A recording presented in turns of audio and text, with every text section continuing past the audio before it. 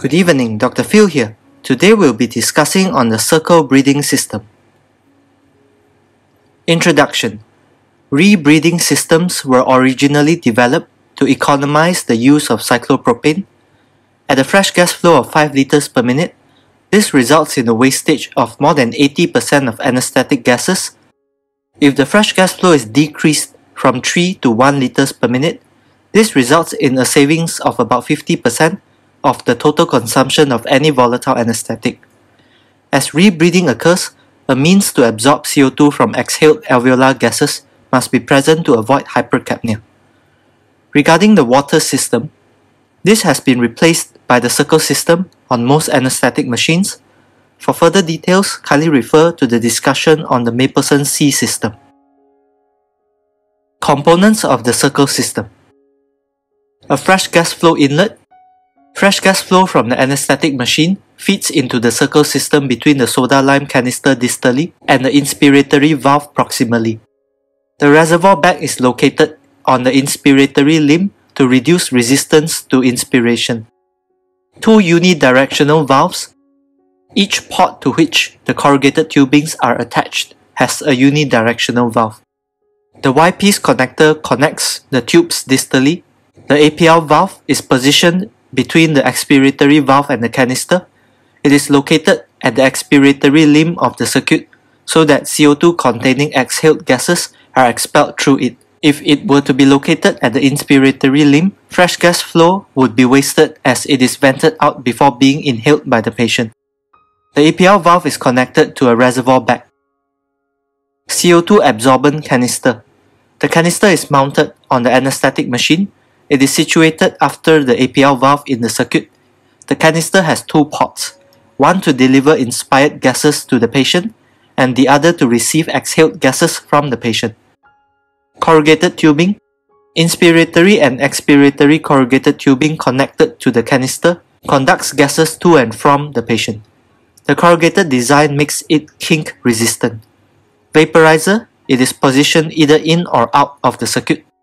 A switch, position between the reservoir bag and the ventilator to switch between the two, a ventilator. Disposable circle breathing systems exist. They employ a coaxial inspiratory tubing. The inner tubing delivers fresh gas flow from the anesthetic machine to the patient. The outer tubing delivers recircled gas flow. Both gas flows mix at the distal end of the coaxial tube. A more rapid change of the inhalational gas and vapor concentration at the patient's end can be made with this system. Mechanism of action Fresh gas flow with or without volatile anesthetic agent enters the circle system between the CO2 absorber and the inspiratory limb. The gases then travel through a one-way non-return valve to the patient. These are discs resting on a knife's edge to allow unidirectional gas flow and prevents mixing of inspired and expired gases. The valves are usually mounted on transparent glass or plastic domes so that valve malfunction can be detected if they are seen sticking. These valves should be checked both at the pre-anesthetic check of the machine and during anesthesia for sticking. Expired gases enter the expiratory limb and passes through another one-way non-return valve. Excess expired gas is vented out through the APL valve. The APL valve may be located close to the patient or beside the CO2 absorber the latter position is more convenient for the anesthetist. The remaining gases passes through the CO2 absorber, for example soda lime, and flows back to the inspiratory limb. CO2 absorber removes CO2 via an exothermic chemical reaction with heat and moisture produced as byproducts of the reaction. Warmed and humidified gases from the CO2 absorber joins the fresh gas flow to be delivered to the patient. The vertical position of the soda lime canister prevents channeling of gases through unfilled areas. Thus, a large canister may be used and the soda lime needs to be changed less often as it does not contribute to dead space. Large canisters are more efficient than small canisters due to the higher liters of CO2 per kg weight capacity. Two CO2 absorber canisters stacked in series used simultaneously is more efficient than a single absorber. If soda lime is used, its pH of 13.5 changes to less than 10 as it absorbs CO2 and the indicator dye changes color. This is a sign to replace it with new soda lime. Kindly refer to the video on CO2 absorbers for further details. The circle system can be used for both spontaneous and controlled ventilation. The circle system can be used as a closed system or a semi-closed system. In a closed system, expired gases and volatile agents recirculate. No more oxygen is added than is required for the patient's metabolic demands. Fresh gas is introduced only to replace oxygen consumed by the patient, and anesthetic agents lost through leaks, absorption, or metabolism.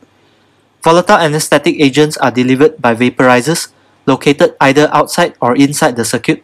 CO2 is removed by soda lime as gases passes through it. Prolonged anesthesia using circle systems with nitrous oxide can cause hypoxia. In a closed system where a fresh gas flow of 1 liter per minute is delivered, where 0.25 liters per minute is oxygen, at the end of one tidal volume breath, the delivered oxygen will be absorbed, leaving the alveoli filled with 100% nitrous oxide. After 10 to 15 minutes, oxygen is taken up in larger volumes than nitrous oxide. Once equilibrium is achieved, nitrous oxide uptake is still 100 ml per hour after 2 hours. This nitrous oxide dilutes the oxygen in the next breath and progressive dilution of oxygen causes hypoxia. A hypoxic gas mixture may be delivered if low flow rates of a nitrous oxide oxygen mixture is supplied. Thus, it is wise to flush the system with oxygen periodically to avoid hypoxia from nitrous oxide accumulation. Nitrous oxide must not be used in circle systems if the total fresh gas flow is less than 1 liter per minute, unless FiO2 is measured continuously. Monitoring of the inspired concentrations of oxygen, carbon dioxide, volatile anesthetic agent and nitrous oxide continuously is essential when using the circle system to avoid delivering hypoxic gas mixtures and inadequate anesthesia. In a fully closed system, monitors which measure inspired gas and volatile concentrations should be placed as close to the patient as possible. In a semi-closed system, a higher fresh gas flow than is required for the patient's metabolic demands or basal oxygen requirements is used in the circle system. Excess gases is vented through the pressure relief spill valve. Although circle systems can operate as a closed breathing system, in practice they are almost always used as a semi-closed system. This is because it is difficult to estimate the patient's oxygen uptake accurately, and therefore fresh gas flow supplied is usually greater than the patient's gas uptake. The concentrations of gases and volatile anesthetic agents in the fresh gas supply are closer to those in the circle system and can be changed more quickly. This represents a compromise between economy and speed of altering depth of anesthesia. Volatile anesthetic agents may be delivered to a circle system in two ways via a vaporizer outside of the circle or a vaporizer inside the circle. VOC Plenum vaporizers are used as vaporizer outside circle. Positive upstream pressure drives the gas. They have a high internal resistance. They deliver volatile agent from the back bar of the anesthetic machine. Plenum vaporizers are unsuitable for use within circle breathing systems as VIC. Kindly refer to the video on vaporizers for further details altering the depth of anesthesia in circle systems using a VOC. At high fresh gas flow rates, high FGF is employed to denitrogenate the circle system and FRC of the patient during the initial period of induction of anesthesia to avoid unacceptable levels of nitrogen in the system. The fresh gas flow can then be reduced later for low flow anesthesia. Dialed anesthetic vapor concentrations is achieved quicker with high fresh gas flow thus increase FGF rather than vapor concentration to effect a more rapid change in the depth of anesthesia. At low FGF, the total volume of the system is about 5 liters including breathing hoses, air in the CO2 absorber, reservoir bag and the patient's functional residual capacity. Large changes in dialed concentrations are achieved very slowly at low fresh gas flows, less than 1 liter per minute in a circle system. The change in concentration of volatile anesthetic agents achieved in the circle system is very small because of dilution, even if the vaporizer is set to deliver a high concentration. Immediate delivery of low flows at 1 liter per minute after intubation and connection to the circle system would result in inadequate anesthesia and severe cardiovascular and respiratory depression due to the delivery of hypoxic gas mixtures if nitrous oxide is used. The very rapid initial uptake of nitrous oxide of 450 ml per minute if used and the volatile agent during the early part of the anesthetic can result in reduced anesthetic gas partial pressures in the system. This risks inadequate anesthesia due to the large volume of a circle system. If the system is filled with air initially, low flow rates of anesthetic gases are diluted substantially and adequate concentrations cannot be achieved. Even if the system is primed with a mixture of anesthetic gases, the initial rapid uptake by the patient results in decreased concentrations of anesthetic agents in the system. Thus, high fresh gas flows of 3 to 4 liters per minute must be used for the first 10 to 15 minutes to avoid inadequate anesthetic depths. High flow rates may be reduced subsequently. When using circle systems, it is essential to continuously monitor inspired concentrations of oxygen, inhaled anesthetic agent, and expired concentrations of CO2. The concentration of volatile anesthetic agent in the system depends on the patient's expired concentration, which is recycled, the rate of uptake by the patient, which decreases with time and is lower with agents of low blood gas solubility coefficient, the concentration of volatile agent supplied, fresh gas flow rate, whether a coaxial inspiratory tube design is used. A VOC will always show a higher concentration than is being inspired unless equilibrium has been achieved. Vaporizer Inside Circle or VIC Draw over vaporizers can be used within a circle. Ventilator or patient's spontaneous respiration generates subatmospheric pressure distal to the vaporizer and draws gas through the system.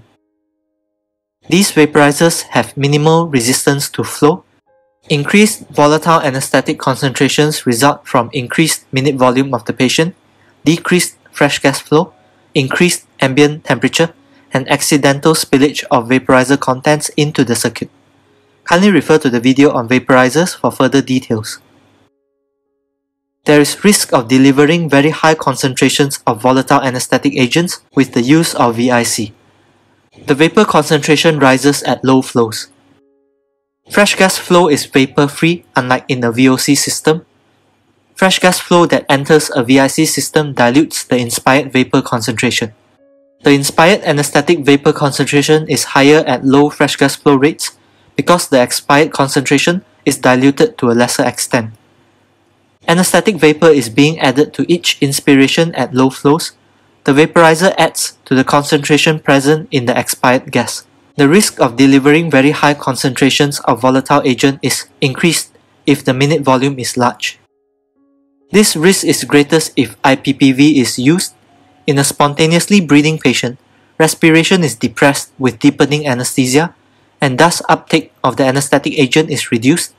This acts as a feedback safety mechanism. However, this mechanism is lost in intermittent positive pressure ventilation. Using a VIC system is ill-advised unless inspired concentrations of the anesthetic agents are monitored continuously. IPPV must never be used with a VIC system due to the risk of generating very high concentrations of volatile agent unless inspired concentrations of the anesthetic agents are monitored. Advantages of the circle breathing system Inspired gases are humidified and warmed. It is economical Circle systems are particularly useful for long cases because it conserves anesthetic gases, heat and moisture efficiently. There is minimal pollution as anesthetic gases are recycled. Low flow anesthesia can be employed. There is low dead space. The mechanical dead space created by the Y-piece tubing between the patient and the unidirectional valves is no greater than that in non-rebreathing systems. There is low risk of soda lime dust inhalation unlike Waters circuit as the soda lime canister is distant from the patient's airway. Disadvantages and safety issues of the circle system. Cumbersome equipment. It is less portable and bulkier than the Mapleson systems and it is difficult to clean. There is risk of delivering hypoxic mixture. When fresh gas flow rate is low, recycled exhaled gases dilutes the fresh gas flow and FiO2 falls. As oxygen uptake remains constant, PO2 in the next expiration is even lower than it was in the first. Fresh gas flow is then diluted further by low oxygen containing exhaled gases.